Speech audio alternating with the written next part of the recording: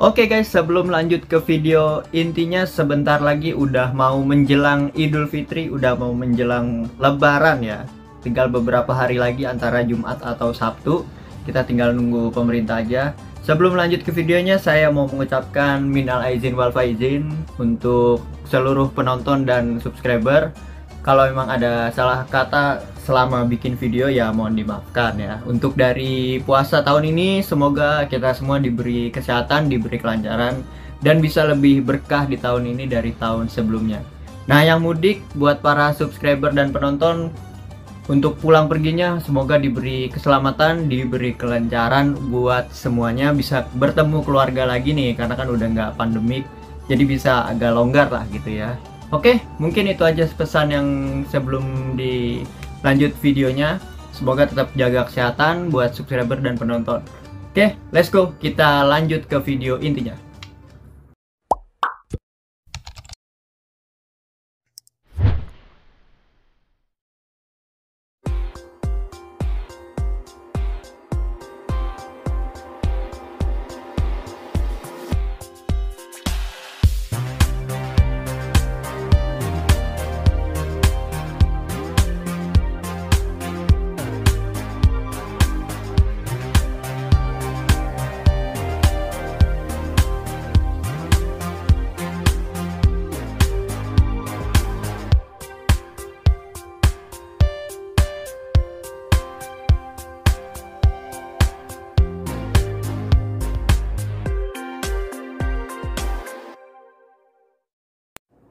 Halo guys, welcome back again to my channel. Kembali lagi bersama saya Rafli Edit Dan apa kabar buat seluruh sobat angler? Semoga selalu tetap sehat dan baik-baik aja.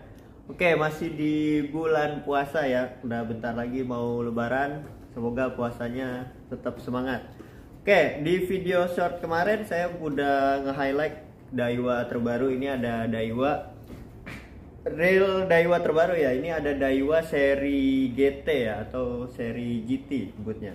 Nah, untuk dari seri Daiwa GT terbaru ini dia punya tiga ukuran, ada di ukuran 2500, di ukuran 3000 dan paling besar itu di ukuran 4000. Nah, untuk si Daiwa GT ini memang dia dari range harganya masih di angka 1 jutaan. Terus juga dia punya keunggulan dengan harga 1 juta dia udah udah metal body ya udah full metal body. Oke untuk dari ukuran 2500 3000 dan 4000 sementara dapat size yang ini aja. Kayaknya sih emang ada cuman cuman ada tiga aja nih nggak ada ukuran yang 1000 kemarin di komentar banyak yang nanyain di ukuran 1000 nya oke untuk dari ukurannya ini udah saya buka semuanya jadi langsung saya highlight satu-satu aja. Kita bakal buka dulu ini untuk dari seri kemasannya. Dia dus kayak gini ya dia beda dari yang lain. Biasanya kan kalau untuk dari kardus real Daiwa ini gak kayak biasanya nih. Untuk si seri Daiwa GT dia seperti ini. Nah untuk dari seri Daiwa GT yang dipegang sekarang ini ada 2500 XH ini untuk rasionya dia masih di 6.2 banding 1 terus juga ini lebih agak berat ya karena udah full metal dan aluminium body ini udah beratnya mencapai 275 gram. Tapi untuk dari maksimal dragnya ini dia 10 kilo dia punya 6 bearing. Kalau di harga satu jam sama kayak Daiwa Time S ya. Nah untuk dari spoolnya dia di PE2 masuk sekitar 200 meter. Nah ini kita langsung buka dulu aja. Mana-mana oh ini. Nah ini untuk dari si Daiwa GT terbaru. Nah ini untuk bodinya seperti ini kita copot dulu handlenya. Oke. Nah ini agak beda gitu handlenya. Kalau si Daiwa GT terbaru kalau si Daiwa GT ini dia handlenya masih seperti ini. Nah ini dia lebih gede lagi di bagian knop sebelah sini. Terus juga masih ada baut yang ikut ya. Kalau biasanya kan udah skrunya di dalam ini ada skru lagi di bagian sini bautnya nih. Nah, ini mungkin bisa kelihatan Nah terus juga dari di ukuran 2500 dia memakai knop T seperti ini untuk dari sobat angler. Ini memang dari body handle-nya aja udah terasa agak berat gitu ya. Terus juga untuk dari bodinya kurang lebih seperti ini dari tampilan desain dan warnanya. untuk si Daiwa GT ini dia berwarna variasi gold sama warna hitam ya. Terus juga di combine lagi sama warna silvernya. Dan untuk di atas real footnya sendiri sih ini udah ada tulisan dari Japan Quality. Nah untuk dari bagian knop sebelah sini ini juga udah power handle jadi bisa dipindah ke kanan kiri. Nah ini seperti ini. Untuk dari knopnya beda sama seri Daiwa LT ya. Oke ini untuk di ukuran 2500 nah ini udah tertulis di label spoolnya ini full metal body. Dan klikernya sendiri ini agak sedikit nyaring dibanding seri Daiwa yang satu jutaan yang lain ya.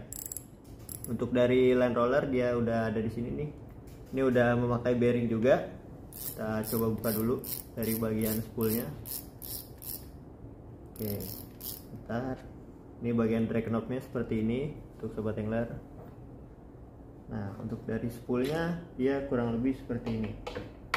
Dan ini adalah bagian dari spool Daiwa GT 2500 nah, ini udah pasti metal dan bodinya juga udah metal. Jadi bisa lebih berat lagi. Untuk dari segi fight mungkin ini bisa lebih kuat lagi sama kayak seri-seri Daiwa Mago ya atau Daiwa BG ini seperti ini. Untuk dari klikernya dia udah sedikit nyaring dibanding kayak seri sebelumnya. Oke kalau seri-seri sebelumnya kan biasanya klikernya agak silent kayak seri Daiwa Refrost atau Daiwa Exceler itu gak terlalu nyaring seperti ini. Nah ini untuk dari skrunya masuk seperti ini. Terus juga dia masih ada retrieve-nya jadi bisa di on off putar ke belakang atau di ke depan lagi. Kiri nah, ini untuk dari ukuran 2500 dan kita bahas lagi di ukuran 3000 nah ini adalah Daiwa GT 3000 yang seri CXH ya. Jadi untuk dari bagian bodinya dia lebih compact lagi cuman untuk dari rasionya dia tetap tinggi. Dan ini beratnya masih sama kayak Daiwa yang di 2500 Exa di GT ini. Ini beratnya masih di angka 275 gram jadi beda di spoolnya aja sih kalau memang dilihat kayak gini nggak terlalu ketara ya. Ini cuman beda di spoolnya aja. Mungkin dari ukuran 2500 ke 3000 ini masuk spoolnya.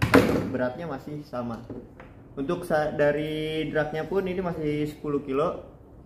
Terus juga dari untuk tampungan benangnya ini PE2 bisa masuk 250 meter.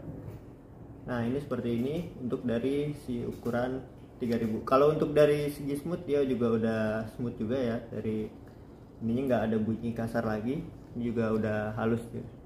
ini warna goldnya ini nggak terlalu ngejreng kayak Daiwa Lexa ya. Yang di 2019 itu kan warnanya terang banget. Oke ini yang di ukuran 3000 Nah, untuk dari ukuran yang paling besar si Daiwa GT ini ada di ukuran 4000 XH. Nah, ini seperti ini walaupun dia di ukuran 4000 sepulnya ini juga lumayan cukup dalam Ini untuk PE 2,5 nya masuk 280 ya. Jadi hampir 300 meter buat penampung PE di ukuran 2 2,5. Nah, ini untuk dari bodinya dia udah kelihatan cukup besar ini kalau buat dipakai di laut juga udah bisa banget karena untuk dari bodinya karena udah metal jadi dia lebih solid lebih kokoh lagi gitu. Nah untuk dari beratnya ini 310 gram di ukuran 4000 nya jadi untuk dari dragnya masih di lebih naik lagi sedikit. Ini ada di 11 kilo. Dan untuk dari benangnya tadi yang saya sebutin di PE 2,5 dia bisa menampung 200 280 meter. Nah ini untuk dari beratnya 300 gram seperti ini. Dan kalau kita compare dengan di ukuran 3000 nya mana 3000 nya ah ini. Ini juga ada kelihatan bedanya ya. Untuk dari di ukuran 3000 dan di ukuran 4000 nah ini bodinya udah kelihatan gede nih kalau di ukuran 4000 nah kalau untuk dari da, buat dasaran ini juga udah bisa sih di ukuran 4000 atau juga bisa buat casting karena rasionya lebih tinggi gitu dan spoolnya bisa lebih dalam oke ini mungkin untuk yang bermain galatama nih cocok nih untuk pakai joran yang di medium atau di medium heavy juga masih masuk Nah untuk dari harganya dia masih di angka satu jutaan. Nanti saya bakal cantumin di marketplace-nya ada di deskripsi dan WA-nya aja. Nanti kalau ada yang kurang jelas boleh ditanyain di kolom komentar. Oke, sekian dan terima kasih buat review si Daiwa GT terbaru ini. Silahkan di like kalau suka videonya dan di dislike kalau nggak suka. Kita bakal ketemu lagi di video berikutnya.